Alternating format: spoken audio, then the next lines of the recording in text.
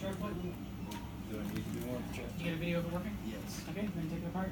Go to those.